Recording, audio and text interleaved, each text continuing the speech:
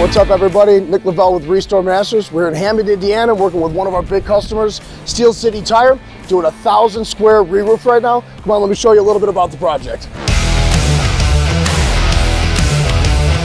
So it's kind of interesting how we ended up coming in with this customer. Um, we were doing a lot of evaluations in Hammond, Indiana for a storm that had happened a few years ago.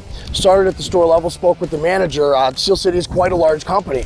So we started working our way up through the chain, had to meet with the board of the directors. Now obviously the best and most efficient way to go about a situation like this after storm is to file an insurance claim.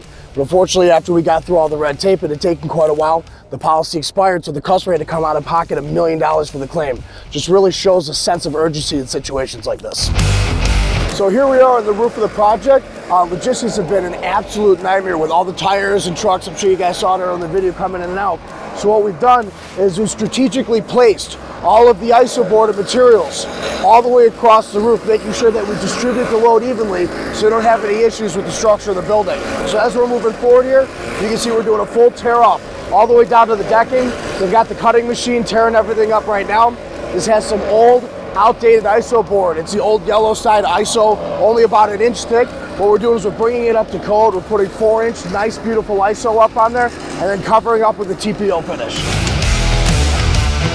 So here we are inside the facility. As you guys can see, we got a lot of trucks. There's crane trucks, forklifts coming in and out. And you know, we've actually run into a, quite a bit of bad decking. So if you take a look up here, you can see a lot of this shiny stuff right here. This is brand new decking we had installed for the customer for safety purposes. We don't want to have rotten decking out here. As a result of that, it has created some debris. So to take you over here and show you a little bit about what we've been working with.